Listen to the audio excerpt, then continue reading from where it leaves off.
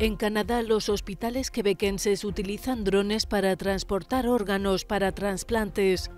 El dron eléctrico no tripulado hecho con fibra de carbono tiene un contenedor refrigerado para que el trasplante sea viable. Este dron llevó de un hospital a otro unos pulmones que salvaron la vida de un hombre con fibrosis pulmonar.